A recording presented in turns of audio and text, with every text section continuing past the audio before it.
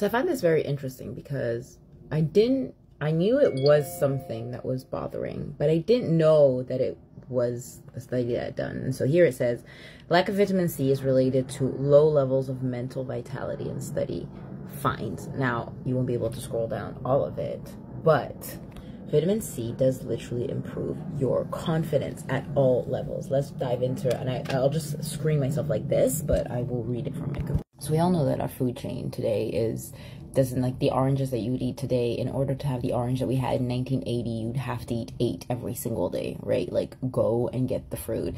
Uh, that's high quality uh, that comes in the best season and all that kind of stuff. Nobody's got time for that. So um, what it does say is vitamin C supplementation significantly increases subjective feelings of concentration and promote better cognitive performance, requiring to sustain attention. So it is an having more attention, being more focused gets you to have more confidence in being able to tick off that box of like what you're supposed to. Vitamin C theoretically should be taken in its raw raw state, right? So there's a lot out there of supplements that don't necessarily that aren't necessarily as strong as it is. Um, but it, you have to have like a real good absorption, right? Where you can also have uh, iron. Now, yes, you can take it in, of course, you know, your drink or whatever, but one that I would highly recommend and that I've been taking for well for so long for the last like three years since we hit COVID is this one. This is like your 60 fruits and vegetables that are blended into one, right? Now, of course, um, it has a whole absorption within it. Now, you're probably asking, okay, well, let's see how much absorption it has. Well, with these, because I can't, I can't do, it has to be easy. I have to take it in the morning and then we're out of the house so I can continue during my day. Like, it has to be AZ.com, okay, guys?